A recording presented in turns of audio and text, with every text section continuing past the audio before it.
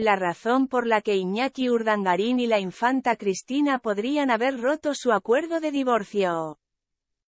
Fue en enero de 2022 cuando la infanta Cristina, 57, e Iñaki Urdangarín, 57, movían ficha tras la aparición de las imágenes del ex duque de Palma de la mano y en actitud muy cómplice, de su entonces compañera del bufete Imaz y asociados, Ainhoa Armentia, 43.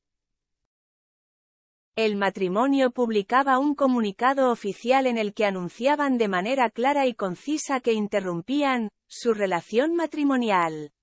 De común acuerdo, hemos decidido interrumpir nuestra relación matrimonial. El compromiso con nuestros hijos permanece intacto. Dado que es una decisión de ámbito privado, pedimos el máximo respeto a todos los que nos rodean.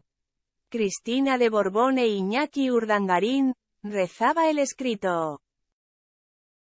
Desde entonces, la expareja ha estado preparando un acuerdo de divorcio que, previsiblemente, iban a firmar el pasado día 6 de junio, un día después de que la menor de sus cuatro hijos en común, Irene Urdangarín, cumpliera su mayoría de edad. Algo que finalmente no se produjo por, según ha contado en la tarde de este jueves, Silvia Taulés, experta en Casa Real, en Así es la vida, las exigencias de Iñaki.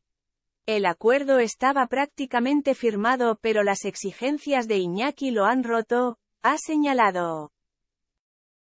Algo a lo que, por su parte, también hizo referencia, aunque con más detalle, hace escasos meses, la periodista Paloma García Pelayo en el programa de Ana Rosa. Este acuerdo pasa por firmar un convenio de regulación del que falta la firma por cuestiones económicas. El problema económico vendría de que Iñaki, al parecer, tiene que recibir una compensación por parte de la infanta Cristina. Ella no está dispuesta a financiar la vida de él estando con otra mujer, contó la colaboradora.